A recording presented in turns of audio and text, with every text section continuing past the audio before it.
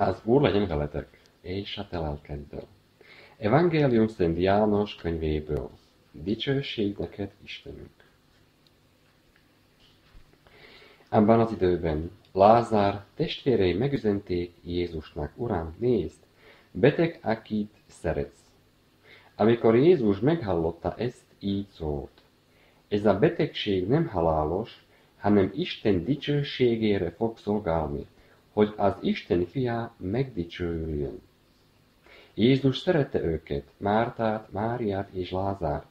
Amikor tehát meghallotta, hogy Lázár beteg, két napig ott időzött még, ahol volt. Aztán így szólt a tanítványokhoz. Menjünk el ismét Judeába. Amikor Jézus megérkezett, Lázár már négy napja a sírban feküdt.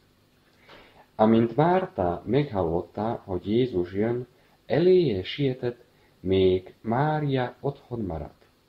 Márta így szólt Jézushoz, Uram, ha itt lettél volna, nem halt volna meg a testvérem, de tudom, hogy most is bármit kérsz Istentől megadja neked. Jézus ezt felelte neki. Testvérek fel fog támadni. Erre Márta így szólt. Tudom, hogy feltámad a feltámadáskor az utolsó napon. Jézus folytatta. Én vagyok a feltámadás és az élet. Aki hisz bennem, még ha meg is hal, élni fog. Mindaz, aki él és hisz én bennem, az nem hal meg örökre. Hiszed ezt? Márta ezt válaszolta neki. Igen, Uram, hiszem, hogy te vagy a mesiás, az Isten fia, aki a világba jön. Jézus a lelke méhéig megrendült és megindult.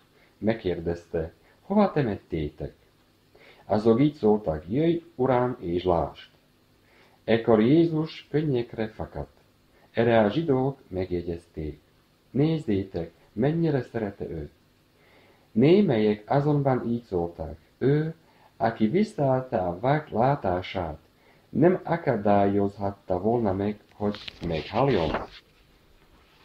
Jézus pedig még mindig mélyen megrendülve a sírhoz ment, amely egy kővel elzárt barlang volt. Jézus így szólt. Vegyétek el a követ.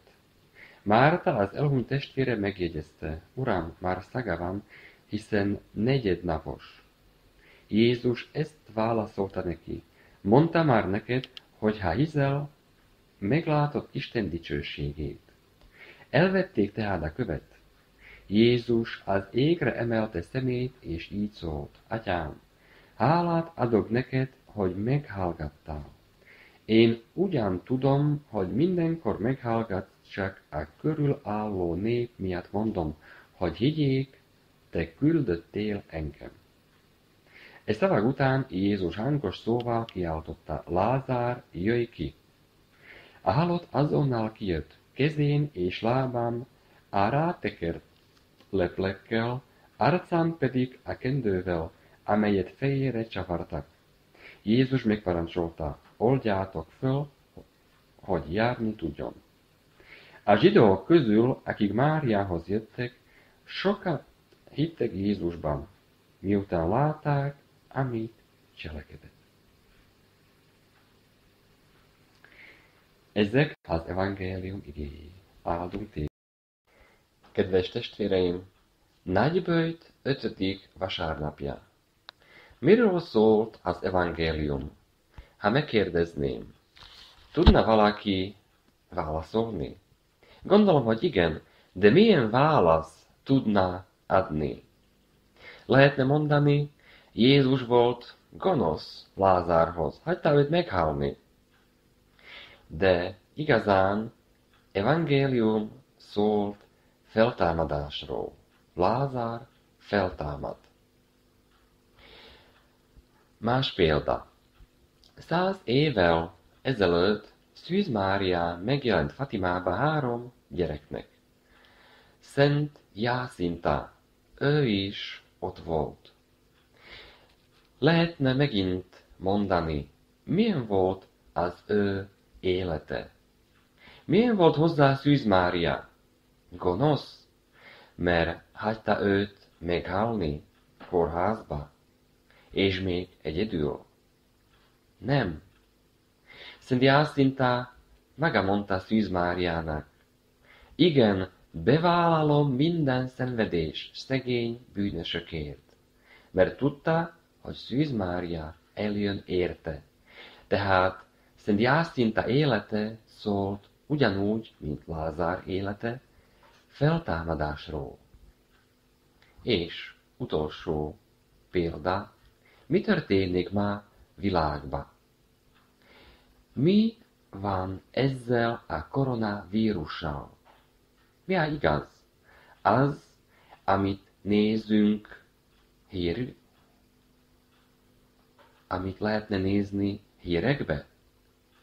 Azt, amit érzünk szívünkbe? Mindenki? Nem. Koronavírus szól ugyanúgy, mint Lázár és Szent Jászintá életébe feltámadásról. Azért bánjuk meg bűneinket, és javítsuk ki életünket. Amen.